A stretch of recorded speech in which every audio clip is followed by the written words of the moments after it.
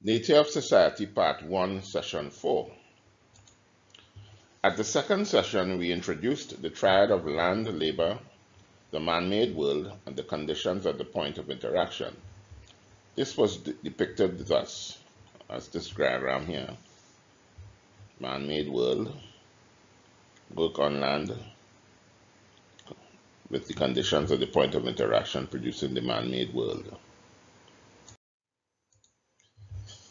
This man-made world is produced by man's work on Earth, and the type of world created is dependent on the conditions at the point of interaction between man and land.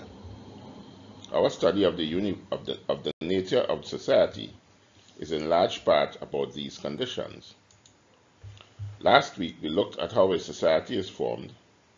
In this scenario, land was freely available, and as immigrants arrived, they would each in turn occupy the best lands available until eventually all the lands were claimed and appropriated.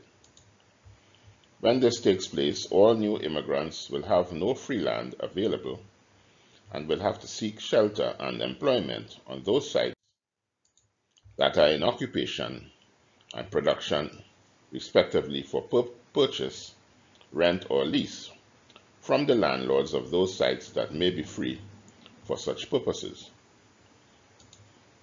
When land is all appropriated, the production profile will look something like this. So when land is all appropriated, we have the full occupation of all the available all the available lands, valuable lands. We have the wages, or the wages are determined, the marginal product, and the net product, and these will be discussed as we move along. Before we begin this exercise, there are a number of explanations that should be provided. One, each block column in our profile represents the production profile of the equal skill and effort provided by one man that for each site, each equal skill and effort is expended, which produces the varying levels of production from the best sites to the worst sites. The production profile is for all types of human act activity, commercial, industrial, agricultural, residential, and recreational. The production profile is depictive of the type of human activity being carried out commercial activity yields higher values per capita than do industrial or agricultural. Residential and recreational activity yield, yield the lowest values. We begin by determining how the general wage level is determined. When all lands are appropriated, that is where there are no lands freely available for production, then new immigrants or others have to seek employment or carry out production on those lands that are already claimed. Persons seeking employment will only be remunerated on the basis of what is received on the most marginal site in production. The most marginal site then determines the general wage level in the society for the particular trade.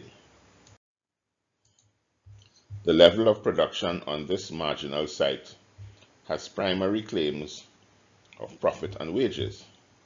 From profit, there would be the secondary claims of taxes, interest payments, dividends, and profit retained in the enterprise.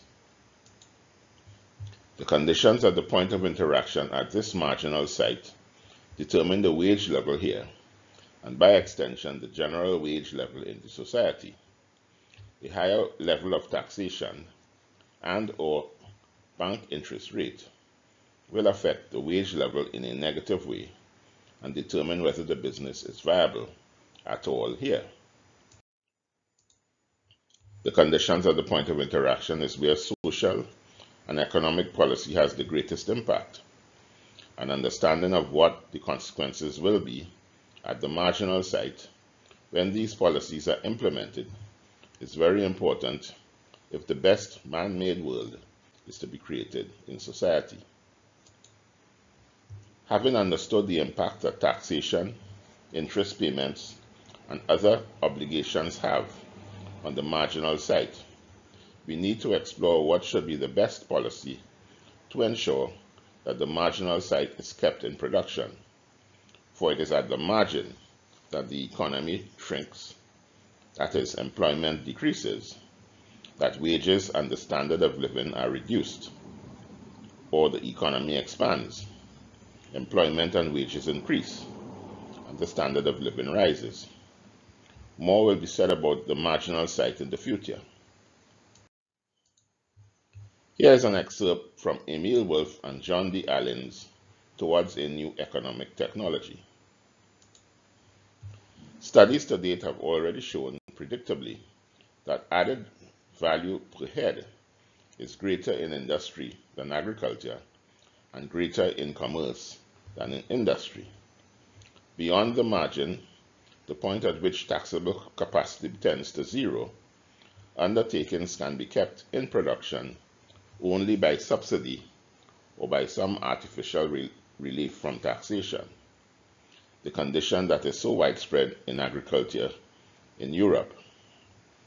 This concept of the margin of production marks the starting point in determining taxable capacity. A marginal activity is one which, by the nature of its location and its activity, produces only sufficient to pay the wages of those involved. There is little or no margin to allow for asset replacement, and certainly none for profits, taxation, or reserves. Put it simply, putting it simply, the full value added will be allocated to employees. Businesses of this kind are vulnerable in the extreme. Businesses of this kind are vulnerable in the extreme any adverse shift in the terms of trade, overdraft limits, interest rates, etc., immediately threaten their existence, while in times of general economic boom, their numbers multiply rapidly. If prosperity is sustained, profit margins begin to appear, and new entrants take their place at the margin. Since the only incomes produced at the margin are wages and salaries. Any encroachment by taxation upon the maximum re remuneration acceptable will be met with demands to reinstate the standard of living in question. This produces the spectacle of successive chancellors having recognized these consequences of taxation, increasing personal allowances, family allowances, child allowances, etc in order to minimize the imposition on those with small earnings. Mitigation is not enough. The clear conclusion is that all taxation on wages and salaries should be progressively reduced over a, over a period and under no circumstances increased. As this happens, the tax burden on the enterprise experienced as costs of employment will, re will reduce in like moment, and the inflationary pressures arising from pay demands would, to that extent, abate. So that's the statement. So during the week, have a look at why business enterprises fail and seek to determine the true reasons for failure. Have a look at taxation on wages and the impact that interest rate rise would have. Come back next week with your observations. And of course, these observations could be made in our Facebook live streams. Let us have a pause now. And again, I invite you to have a look at my four books available at amazon.com. Very good reads on the subject.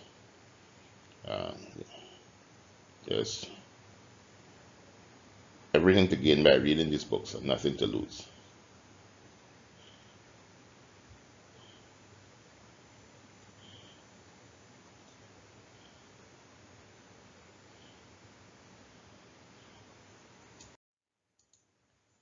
We will conclude the anecdote of the unbounded savannah by Henry George that we started in last week's session. Population still continues to increase, and as it increases, so do the economies which its increase permits, and which in effect adds to the productiveness of the land.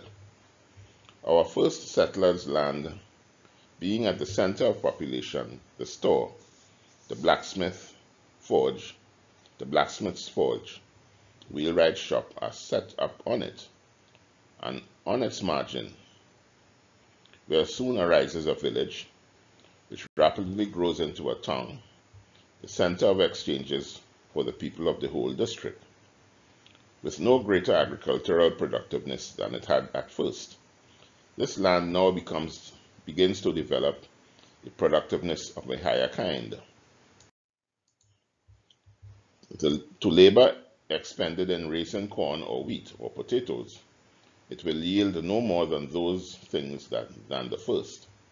But to labor expended in the subdivided branches of production that require proximity to other producers, and especially to labor expended in the final part of production which consists in distribution, it will yield much larger returns. The wheat grower may go further on and find land on which his labor will produce as much wheat and nearly as much wealth.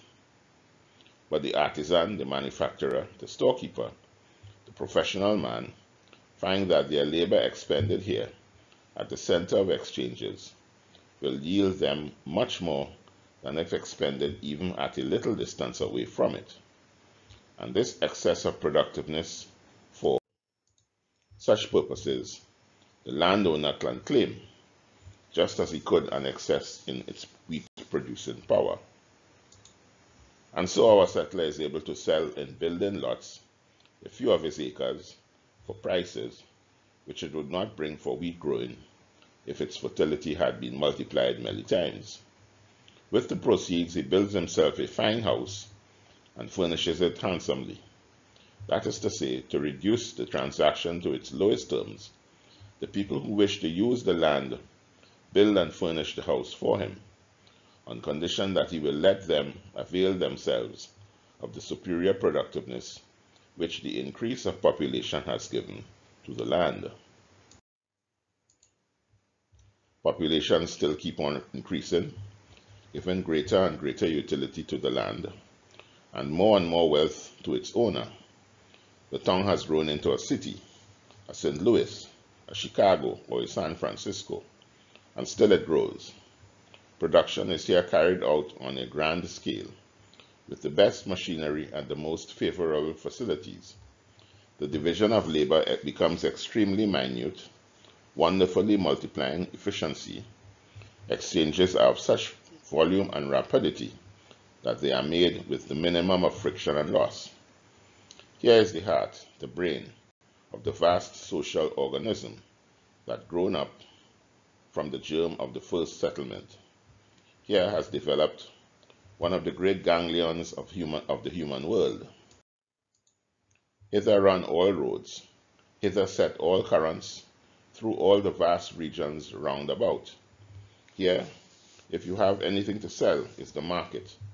Here, if you have anything to buy, is the largest and choicest stock. Here, intellectual activity is gathered into focus. And here springs that stimulus, which is born of the collision of, the mind, of mind with mind. Here are the great libraries, the storehouses, and granaries of knowledge, the learned professors, the famous specialists. Here are the museums and the art galleries, and all things rare and valuable, the best of their kind. Here come great actors, the orators and singers from all over the world. Here, in short, is a center of human life in all its various, in its varied manifestations. So enormous are the advantages which this land now offers for the application of labor that instead of one man with a span of horses scratching over acres, you may count in places thousands of workers to the acre, working tier on tier, on floors raised one above the other, five, six, seven, eight stories, from the ground, while underneath the surface of the earth, engines are throbbing with pulsations that exert the force of hundreds of horses. All those advantages adhere to the land. It is on this land and no other that they can be utilized. For here is the center of population, the focus of exchanges, the marketplace and workshop of the highest forms of industry. The productive powers that density of population has attached to this land are equivalent to the multiplication of its original fertility by the hundredfold and thousandfold.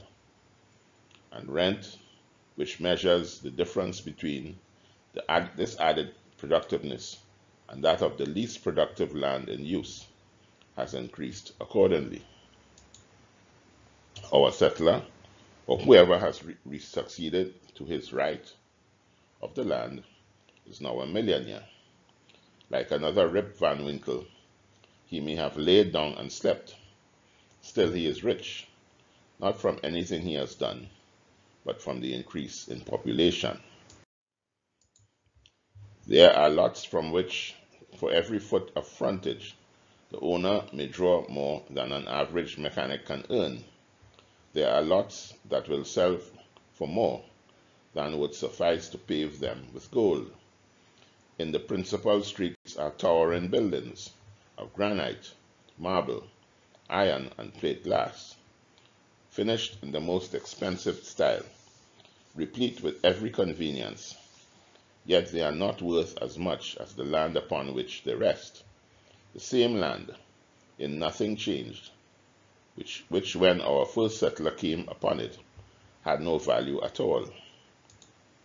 That this is the way in which the increase of population powerfully acts in increasing rent, whoever in a progressive country will look around him may see for himself. The process is going on under his eyes. The increase, the increasing difference in the productiveness of the land in use, which causes an increasing rise in rent, results not so much from the, the necessities of increased population, compelling the resort to inferior land as from the increased productiveness which increased population gives to the lands already in use. The most valuable lands on the globe the lands that yield the highest rents are not lands of surpassing natural fertility, but lands to which a surpassing utility has been given by the increase of population. Next week, we will have a look at the effect that any current regime in taxation has on production in the economy and what might be the best tax policy that would, would, that would have the least impact on production and employment. Before we end, I would like to let you know, to let you attendees know, that Unsustainable Development is an educational offering devoted to the dissemination of its cause to all of mankind and to those who have the English language as their official language in the first instance, and to all eventually all over the world to make this possible and because we do not charge a fee for this dissemination, we rely wholeheartedly on monetary donations to meet the cost of achieving these goals. If you have found these sessions useful thus far and would like others to have access to them, we would gratefully accept your donations should you be inclined to offer them. You can send donations to our PayPal account at the email address nigelgittens at gmail.com. Thank you for your kind gesture.